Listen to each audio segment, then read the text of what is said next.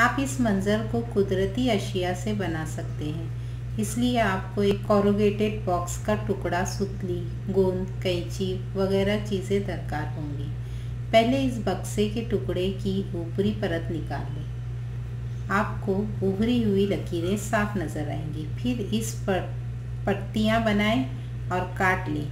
फिर इन्हें दरमियान से काट लें। इस तरह आपको दो आधे टुकड़े हासिल होंगे। इनके आधे हिस्से को बदल दें। और आपको दोनों आड़ी तिरछी लकीरें हासिल होंगी, जो बेहतरीन किस्म की पत्तियाँ नज़र आएगी।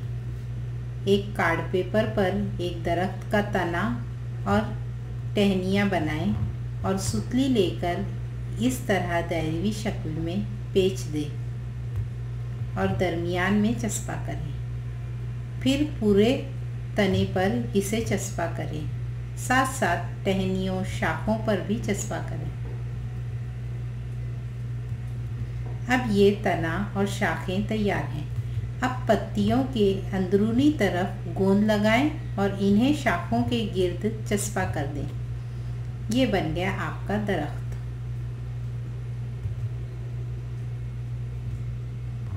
अब इस पर एक घोंसला चस्पा करें। और चिड़ियों को इस घोंसले में बिठा दे। आप इस खूबसूरत से मंज़र को दीवार पर लटका सकते हैं।